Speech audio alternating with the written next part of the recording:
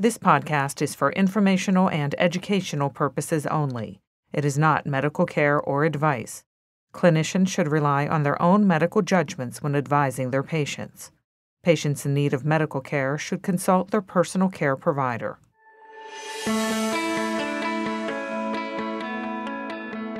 Welcome to That's Pediatrics, where we sit down with physicians, scientists, and experts to discuss the latest discoveries and innovations in pediatric healthcare. Welcome to That's Pediatrics from UPMC Children's Hospital of Pittsburgh. I'm Amanda Poholek, Assistant Professor of Pediatrics and Immunology, your host for today. And today our guest is Dori Ortman. Dori serves as family faculty at LEND, which is the Leadership Education in Neurodevelopmental Disabilities of Pittsburgh, a program affiliated with the University of Pittsburgh and UPMC Children's Hospital of Pittsburgh. She is also LEND's Family and Self Advocacy Training Director and Clinic Coordinator. In addition to her roles at LEND, Dori is a crisis counselor with Crisis Trends and the administrator of Special Needs Care, a private online group providing community, advocacy, resources, and education to its members, which include parents, caregivers, siblings, and other family members of children, adolescents, and young adults with special needs. Today, our topic is the LEND Center and family centered care for children with developmental disabilities. Thank you so much for being on our show, Dori. Thank you so much for having me. I'm happy to be here. So, um, I was hoping that you could start by just telling us a little bit about your background, your path to UPMC Children's, um, and what drew you to your role working with the LEND Center? Absolutely. Um, so, way back in another lifetime, it feels like. Um, I started off uh, when I first entered college uh, going for business marketing. um, but, very long story short, in my trajectory, um, I've had a lot of personal experience with disability um, from a very early age, including um, an aunt who was deaf. Uh, my father eventually had a massive stroke and ended up in a wheelchair. Um, so, just a lot of personal experiences with disability. And I ended up uh, being the program manager for an organization in Pittsburgh called CLASS, uh, Community Living and Support Services, which is a nonprofit that serves families who have children with disabilities. Uh, I was in that role for 12 years, uh, working with families on a daily basis. Um, I myself am also a mother of two now young adults. Uh, at the time, they were young children, um, and they both have learning differences and um, it just really made me sort of gravitate to that entire system, mm-hmm. um, our nonprofit systems that do serve families who have children with disabilities. So that's your background, yeah. and so maybe you can tell us a little bit about how the LEND Center formed, um, and how you, and how your role in the LEND Center got started. Absolutely. So Lend actually used to be known as UCLID. Um, even when I first started, it started in 1995 mm-hmm. and it was formed by community leaders and university leaders and UPMC Children's Hospital leaders as well. Mm-hmm. Um, and UCLID was the name, is U C L I D, and that was University Community leaders and individuals with disabilities. And so our university leaders, our hospital leaders, um, really sort of gathered round and said we need to do a formalized program and unite all of us. Um, the founder, really, of the program was Dr. Heidi Feldman, mm-hmm. um, who was with UPMC for many years and um, has since left, but she's really considered a national uh, renowned expert on autism mm-hmm. and other neurodevelopmental disabilities. And so uh, she started uh, along again with the other community leaders and university leaders in 1995 to form UCLID, which later became LEND and LEND is funded by the Maternal and Child Health Bureau. Mm. Um, so when we say it's affiliated with the University of Pittsburgh and UPMC Children's Hospital of Pittsburgh, our leadership um, has always come from and continues to come from UPMC Children's Hospital, university leaders. Um, we sort of kept that cohort um, background really strong and continue to pull our leadership from there. So, as I mentioned, um, we are funded by the Maternal and Child, Child Health Bureau, MCHB. Well, this is my 12th year with LEND as faculty. And so it would have been about 13 years ago. MCHB came out with a mandate. There are around, right now, there are around 60 LEND programs across the country, Okay. um, all housed um, and affiliated with universities and hospitals. Okay. And we train um, a cohort of graduate and doctorate level students in a variety of disciplines who will eventually serve children who do have disabilities. So these are um, students from different disciplines like occupational therapy, physical therapy, speech therapy, social work, child psychology. So, you know, anyone that will um, serve all children, but certainly uh, in our society today, have children with disabilities come and, under their care. So, back to what I was saying about 13 years ago, MCHB came out with a mandate that just as graduate students and doctorate level students come to the table with a vast variety of experience and knowledge, um, lived wisdom, that families also come with that wisdom from their own pathway in raising a child with a disability or having a sibling with a disability.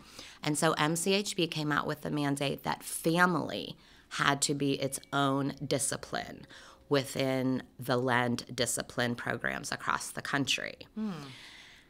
And so all of the LENDs started scrambling to identify family faculty, which was also sort of part of that mandate, um, so that we could get that curriculum developed and get that um, that discipline basically as a part of our overall cohort. I see.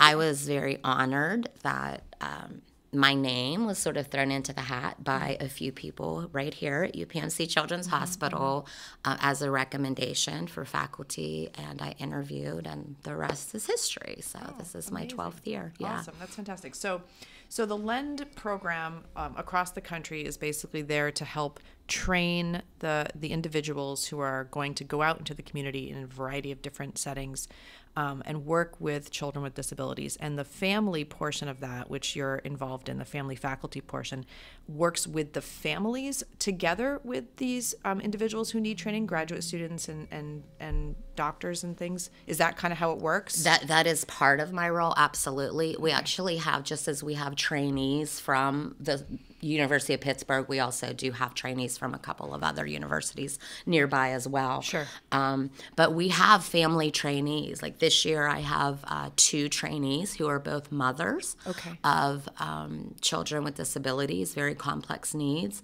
and they are trainees right alongside our graduate and doctorate students. Um, they act as peers. They follow uh, not an identical curriculum because our student trainees have a lot of clinical experiences um, Sure. that they participate in, whereas our family trainees are more consultants on those clinical experiences because they do bring that uh, lived, uh, you know, knowledge and wisdom with them.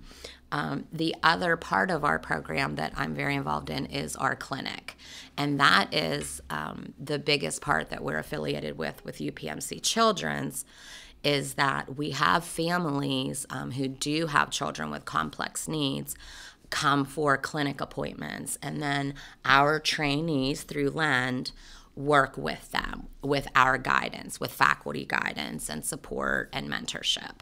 Um, but they do get to work directly with the families. Um, we help identify resources for them within the community. Uh, I, I would say our biggest role with families and our biggest support for families is that we help them navigate sort of this complex system that we have for uh, you know families raising children with disabilities. It can be a really complex system and really difficult to navigate. And that's probably the biggest support that we offer through LEND and that our trainees um, Yeah. get to offer. So what what's really fascinating to me about this is that it sounds like the Lend Center really is serving multiple communities at the same time, right? So on the one hand, you know, we're, you're serving the families that have these needs, that have children with with disabilities that need all kinds of support, as you just described. Um, but it's also serving the people that are that are going to actually then go out into the world and work with those people as well as part of a leadership, uh, sort of a, an education training, right? Um, so really interesting to me that you're sort of serving both roles at one time, helping families, helping patients, also helping train the people who need to go out there and help the families and help the patients outside of the LEND Center. Um, really like a dual purpose, and that's that's incredibly interesting to me.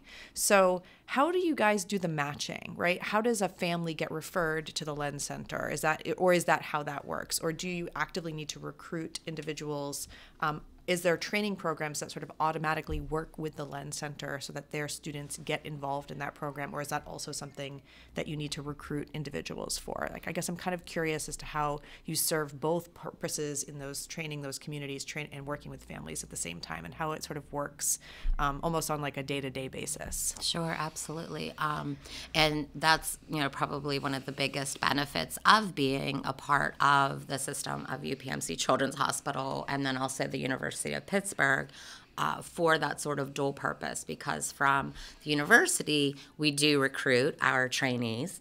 Um, it's a very competitive uh, process. Mm. Um, we always have more applicants for our program than okay. uh, we are able to receive because we are a funded program. I see. So we have very specific guidelines and, and even limitations as far as the number of trainees. Uh, when we first started back in the day, as I said, in 1995, um, our cohort of trainees was fairly small, maybe between six and 10. And we've certainly grown. And um, now our cohort of trainees is usually around 20, 22. Mm-hmm. Um, and so we've certainly grown. But we do always recruit, you know, mm. from the university, from other nearby universities. Pittsburgh, of, of course, is a host of, you know, many sure. wonderful universities. Um, and so, you know, we're always trying to get the word out about that, but it is very competitive. They have to apply to the program. We interview, um, and, and, you know, just depending on their leadership skills. We always mm-hmm. say we're, we our our goal, our purpose, our mission is we're training the next generation of leaders mm-hmm. who will serve families who have children with disabilities and children with disabilities themselves. And so that's sort of our mission. And so, yeah, we're always trying to put that word out there to recruit yeah. trainees or applicant trainees. So, so, I, and I do want to come back to the family part. Absolutely. So, for the for those of our um, listeners who are, you know, in the in the process of training, because I, I think we do have quite a few listeners that are, you know, training for for different varieties of of care for, related to children. Um, if you get into the program, how long is the program? Is it like a one year stint or is it longer? Like, what does that time frame look like? Sure, it is uh, one a one academic year. So typically August through April. We're mm-hmm. actually getting ready to graduate in mm-hmm. a couple mm-hmm. weeks. Yeah. Mm-hmm. Um, and so it is one academic year. Okay. Uh, it's pretty intense, and mm. you're sort of adding this on as an as an option to right. your other right. really full course load, yes, basically, yes. and looking for a job because you're getting ready to graduate. Unless you're grad, a grad student and moving on to doctor, but many of even our graduate students are preparing to enter the workforce, and so they're adding this on to their coursework they're looking for a job interviews maybe accepting a job and starting you know so there's a it's pretty intensive. We do a lot of different um, activities and projects and, and academics with them.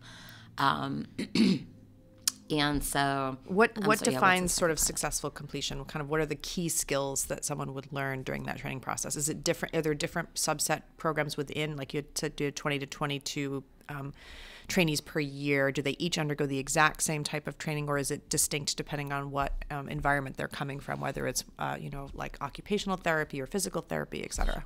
Actually, we always say uh, when you walk through the door in Lend, if you're accepted and you're a trainee, when you walk through the door at Lend, the first thing you need to do is take off your discipline hat ah. because you will probably very rarely um, be speaking or, or doing activities related to your discipline. Mm. We really want them to think more outside the box and how can we look at this family holistically mm. and what kinds of resources might help them. So even if you are just using your example as an occupational therapist and eventually this student will you know become an OT and be working with children um, when you're working with that child, there are a lot of other things that you might end up seeing that could be really beneficial for them or really helpful and supportive for the family. And if you're able to provide resources to them and suggestions to them on those other areas, your plan and your goals with that child, even in OT, will be so much more successful. Mm. Um, we, we try to teach our trainees to not just think of health care, but to also think of sort of well care, mm. which there are a lot of things that go into overall wellness that mm. we know. Of course, socialization, recreation opportunities, being a part of the community, um, and a lot of children with disabilities don't have the same types of opportunities with those types of things as other children. Right, of course. Um, and so we really look at that. You know, does the child have friends? Is the child involved in any programs? Are they getting out there, or are they isolated? Which are happens to a lot of families as well, not just the children themselves, but the families, because sometimes it's hard to take your child with a disability out and people staring, or maybe your child has an outburst in a restaurant. And a lot of families, more than people realize, sort of isolate themselves, and mm. that's not that's not well being for the child. That doesn't right. um, relate to sort of overall health care, and and we want that. We want it to be recognized as a whole as a holistic approach. Um, and so, yeah, we, we they really do follow the same curriculum, um, the same projects and activities and leadership skills. Um, it doesn't really depend on their discipline. The only variances I would say is that our family trainees have a very parallel curriculum uh, with a little bit of difference based on goals that they want to right. achieve afterwards. Yeah. So, so I guess this is a good um, transition point to get back to the the family portion of things. So, how do you identify families that are appropriate for the LEND Center? And then, um, can you tell us a little about exactly what you were just saying at the end there about how the families trainees then go through their process? How do they identify what their goals are, and then how do you, how long is that program? Is it also a year, and how does that process work? Absolutely. Uh, so our families, uh, we're very fortunate, uh, come uh, referrals for our families for our clinic mostly come from UPMC Children's, to be honest. Mm-hmm. Um, a lot of the different departments that end up working. You know, we have a lot of great clinics within our hospital system as well. Um, we have a CP clinic for cerebral palsy. We have uh, various autism programs. Um, you know, a lot of different clinics and programs, and so we get a lot of referrals from uh, UPMC Children's. Um, we get children. We excuse me. We get referrals from um, pediatricians mm-hmm. uh, who are aware of us. Uh, we always take the summer to sort of make sure all of the different departments and and um, healthcare systems, you know, remember who we are. Mm. We it, we're fortunate that we don't really have to make a huge push for families. We usually serve because it is part of a training program. It's not really um, an appointment, like a healthcare appointment mm-hmm. that mm-hmm. families would maybe receive coming to a different type of clinic. Um, mm-hmm. Our clinic is a little bit different in that uh, it's more like community based and about community resources and uh, like i had said earlier helping families navigate systems so it's not really healthcare based as in we're not doing um, an exam and things like that mm-hmm. and so other clinics and pediatricians and, and those who are aware of us typically refer families to us who are sort of uh, having difficulty not only with navigating the system, but a lot of our families come to us with issues with school systems, um, just trying to better their communication with school systems, mm-hmm. maybe mm-hmm. needing some support with their child's IEP or individualized education plan, uh, which all yeah. children with disabilities have. Uh, and so they're coming to us for resources and support in things almost outside of the realm of what the typical healthcare system does. Mm. Um, but again, because it is a training program, uh, our appointments are limited. So we usually serve around 20 families per year. Uh, so it's not something that we necessarily are, you know, having to knock down doors. You know, we're mm, getting the mm, referrals. Mm, we're very fortunate. Mm. Um, we look at what the family's needs are, what their goals are. Uh, what our students are working on and, and sort of go from And are you essentially able to take every family that is referred to you, or is there like a wait list in order to get into the program? There's not a wait list at this time. Um, we sometimes do have one once the year gets started. Uh, sometimes families will come back to us a, a second year, depending again on what their goals were, and um, maybe our trainees who are on that team for that family. We do have clinic teams. Feel that the family would really benefit from some fluidity, you know, as far as continuing to work on those goals into the coming academic year or school year for the child. And so we'll bring them back in the fall. Uh, so it just depends. Uh, we don't have a wait list typically, but sometimes once the year actually gets started, rolling into September, October, we may sometimes have a wait list. But we're typically able to see all of our families over the course of the year. Great, that's fantastic. So um, I wanted to also come back to sort of at the beginning your introduction, talking about how you know you had a lot of personal experiences with disabilities in your family, and how that really. I mean, I think it's so great that you were able to then move into a career where that clear passion that you have and that experience that you have was able to be leveraged right in this incredibly important and positive way. Um, and given the amount of time that you've been in this career path i'm, I'm really just sort of curious how caring for children with disabilities has changed over time. You know what kinds of things have you seen um, more recently that have been a pot that have played a positive role in how we think about and care for children with disabilities, um, and maybe some some sort of emerging areas that you think um, are still needing to be addressed, and and why we haven't been able to address them yet.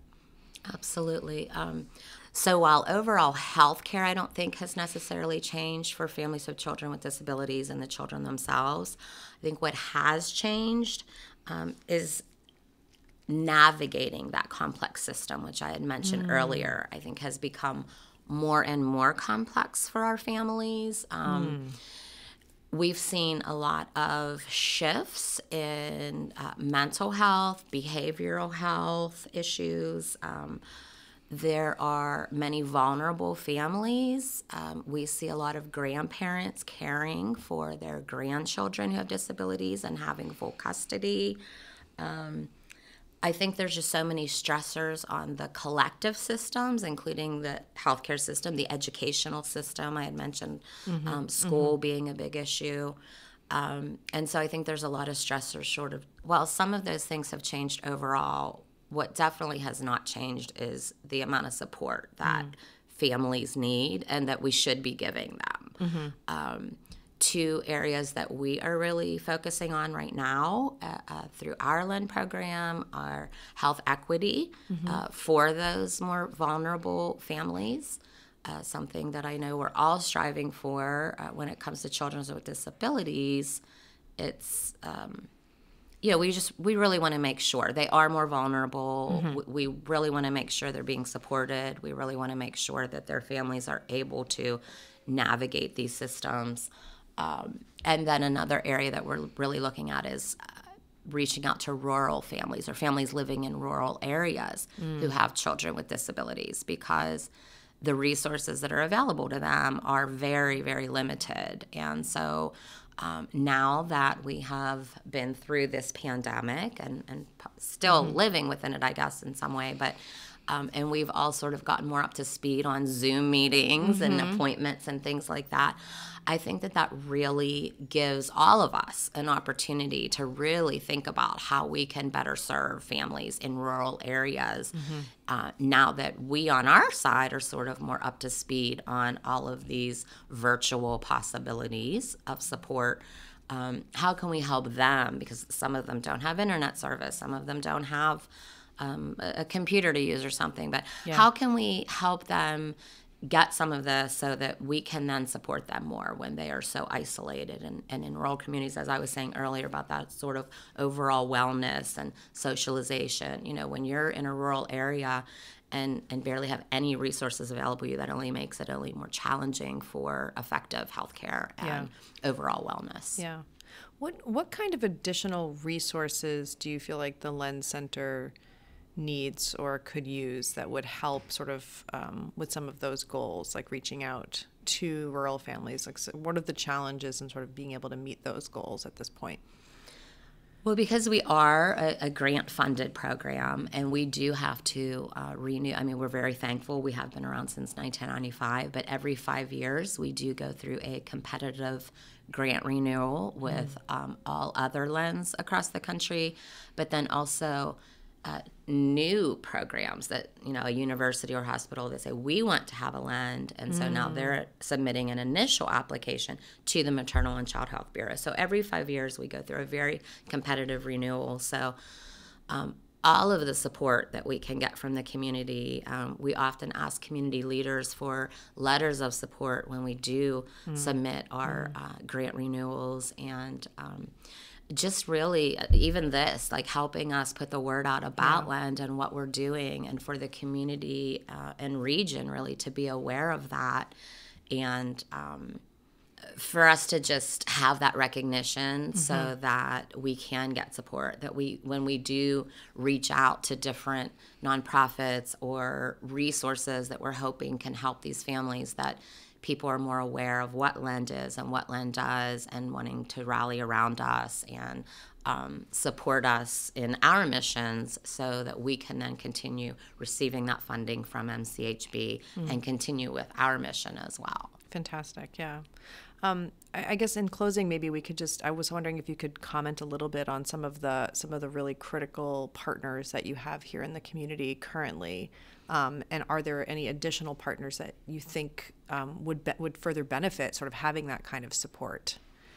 Some of the projects that we have our trainees work on. Um, one is state your case, mm-hmm. uh, and that is that they research laws and regulations around a particular disability topic and then they create a an advocacy message to share with the community with our local legislators um, we have our two family trainees actually next week are going down to washington d.c and meeting with legislators mm. on the hill they're having hill visits and so we're always out there trying to advocate advocate advocate mm-hmm. um, and so we have partners that help us with State Your Case. We're always looking for different mentors within the community who are community leaders who somehow have a, a, stake in serving children with disabilities and their families. And so we have a lot of great individual mentors that I don't even want to mention names because I'll forget someone and I, I don't want to forget to do that.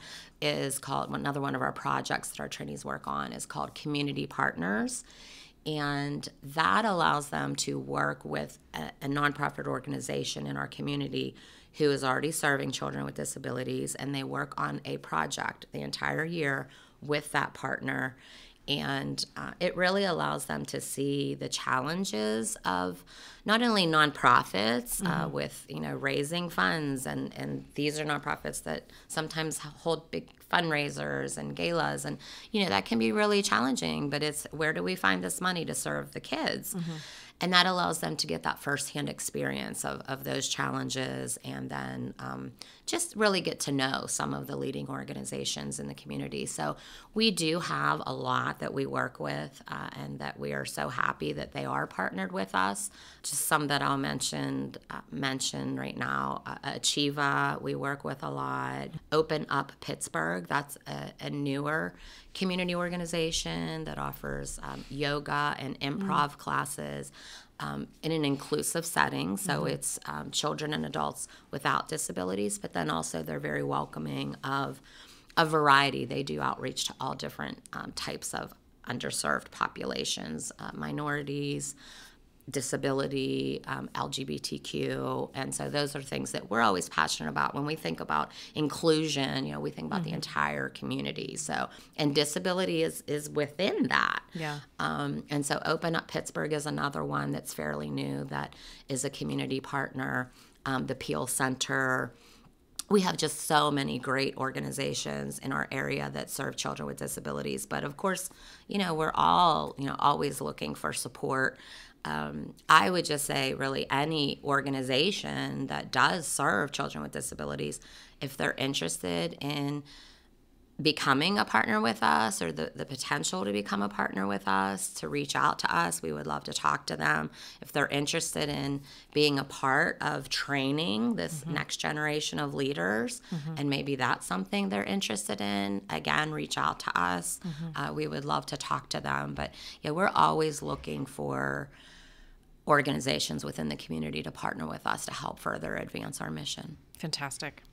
Well, thank you so much for your time today, Dori. I mean, I just also want to take a moment and thank you for the work that you do serving um, families and children with disabilities. It's such an important part of the work here at UPMC Children's, um, and we're so grateful to have the organization, the Lend Center, and, and you and your colleagues to participate in that. And thank you for your time today to share with us your experience and your, the information about the Lend Center.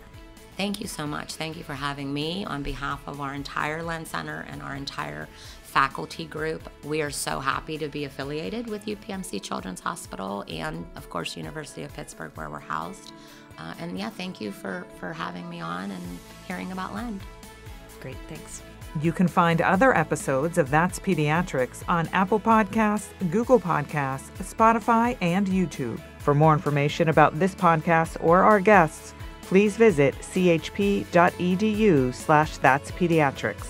If you've enjoyed this episode, please be sure to rate, review, and subscribe to keep up with our new content. You can also email us at podcast.upmc at gmail.com with any feedback or ideas for topics you'd like our experts to cover on future episodes. Thank you again for listening to That's Pediatrics. Tune in next time.